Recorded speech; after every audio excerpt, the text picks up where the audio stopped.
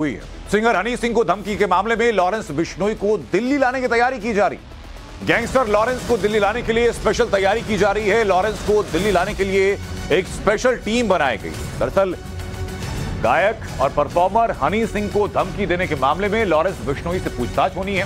फ़िलहाल, भटिंडा जेल से उसको लाया जाएगा दिल्ली। भटिंडा जेल से बुलेट प्रूफ गाड़ियों में लॉरेंस बिश्नोई को लाया जाएगा। क्योंकि तो लॉरेंस बिश्नोई को बम्बीहा गैंग मारना चाहता है। अब तक की जानकारी ये सामने आ चुकी है।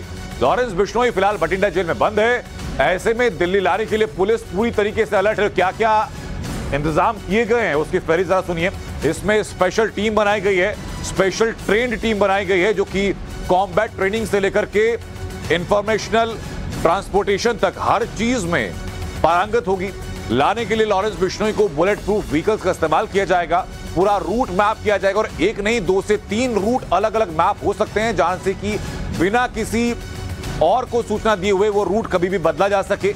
ऐसे मामलों को ध्यान में रखा जाएगा, क्योंकि और सबसे खास बात ये, कि जब तक भटिंडा से दिल्ली का काफिला तय पूरा पहुंचेगा, जब तक ये पूरी डिस्टेंस तय की जाएगी, ये काफिला बीच में कहीं भी किसी भी वजह से रुकेगा नहीं। उसके पीछे की एक बड़ी बात यह है कि लॉरेंस बिश्नोई को बम्बिहा गैंग जान से मारने की धमकी दे चुका है, और लॉरेंस बिश्नोई के ऊपर मौका पाते ही बम्बिया गैंग हमला कर सकता है। ऐसे में बटिंडा से जब दिल्ली लाया जाएगा पूछताछ के लिए लॉरेंस बिश्नोई को तो संभावना जताई जा रही है कि हो सकता है कि बम्बिया गैंग अपने उद्देश्य को पूरा करने की कोशिश करे और हमला करने की कोशिश करे।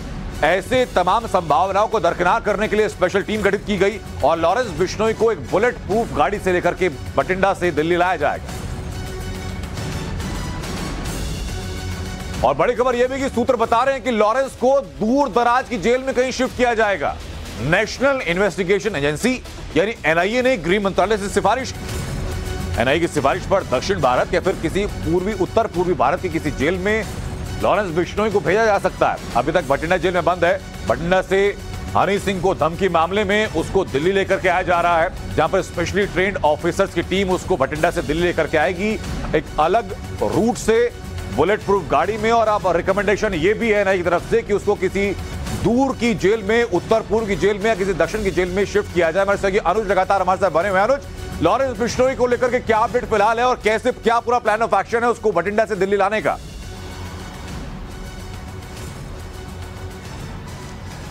जी देखिए, हनी सिंह मामले में लॉरेंस बिश्नोई से पूछताछ करनी है। दिल्ली पुलिस की स्पेशल सेल को पूछताछ करनी है और इस बाबत बाकायदा प्रोडक्शन वारंट भी दिल्ली पुलिस की तरफ़ से ले लिया गया है। लेकिन चूँकि सुरक्षा कारणों से कई सारे थ्रेट है, खासतौर पर लॉरेंस बिश्नोई को लेकर देखा जाए तो उसके दुश्मन गैंग जो है, जब से तिहाड़ जेल में टिल्लू ताजपुरिया की हत्या हुई, तब उसके बाद से ही लगातार उसके दुश्मन गैंग जो है उसे अपना निशाना बनाना चाहते हैं और इसी को लेकर तमाम सारे इनपुट्स जो हैं, वो जाँच एजेंसियों के पास है, जो जो कि कहीं ना कहीं शेयर किया गया और इसी वजह से उसे दिल्ली लाते लाने में खास एहतियात जो है वो बरता जाएगा। ज़ाहिर तौर पर एक तरफ़ जहाँ भटिंडा पुलिस का ये कहना है अभी कि उनके पास उतनी फोर्स नहीं है जिससे जिसके ज़रिए वो दिल्ली लॉरेंस बिश्नोई को छोड़ सके। वहीं दिल्ली पुलिस की स्पेशल सेल ने अब नई प्लानिंग बनाई है और उस खास रणनीति के तहत एक रूट मैप तैयार किया गया जिसके ज़रिए लाने की कवायद जो है वो की जाएगी। और उसके बाद लॉरेंस बिश्नोई से इस बाबत जो है पूछताछ की जाएगी। क्योंकि निश्चित तौर पर जिस तरीके से लॉरेंस बिश्नोई गैंग की अगर बात किया जाए तो गोल्डी बराड़ ने बाकायदा हनी सिंह को धमकी दिया था और उस पूरे मामले में लॉरेंस बिश्नोई से पूछताछ करनी है। तो एक तरीके से कहा जा सकता है कि जाँच को आगे बढ़ाने के सिलसिले में उसे दिल्ली लाना है लेकिन मैं वापस आपके पास। उस बारे में जो है ना की तरफ़ से रिकमेंडेशन दी गई एप्लीकेशन दी गई कि भाई लॉरेंस बिश्नोई को किसी दूर दराज की जेल में दक्षिण भारत में या उत्तर पूर्वी भारत में कहीं भेज देना चाहिए। इस मामले की वजह क्या है? आपसे जानूँगा, मैं वापस लौटूँगा आपके पास। लेकिन इसी बीच कुछ इंपॉर्टेंट इन्फॉर्मेशन देते हैं। अब आपको समझाते हैं कि लॉरेंस बिश्नोई को दिल्ली लाने के लिए स्पेशल टीम की तैयारी कैसी है। लॉरेंस के मूवमेंट के दौरान सबसे आगे एक पायलट कार रहेगी। दरअसल जिस रास्ते से लॉरेंस को लाया जाएगा, उस शहर की पुलिस एक पायलट के तौर पर रास्ता खुला रखेगी, यानी रास्ते में कोई रुकावट नहीं होगी। बीच रास्ते में काफिले को रुकने की इजाज़त नहीं है। तो जो पायलट कार है, पायलट कार के पीछे दिल्ली पुलिस की स्वाट टीम रहेगी, जो कि आतंकवादी हमलों से निपटने में सबसे माहिर यूनिट है। उसके पीछे एक बुलेट प्रूफ गाड़ी में लॉरेंस को रखे जाने की खबर है, और उसके पीछे दिल्ली पुलिस की एक सिक्योरिटी यूनिट रहेगी, जिनकी गाड़ियों में स्नाइपर्स को तैनात रखा जाएगा। सबसे आगे पायलट कार, उसके बाद एक स्पेशल टास्क फोर्स रहेगी। उसके पीछे रहेगा लॉरेंस बिश्नोई और उसके पीछे रहेगी दिल्ली पुलिस की स्वाट टीम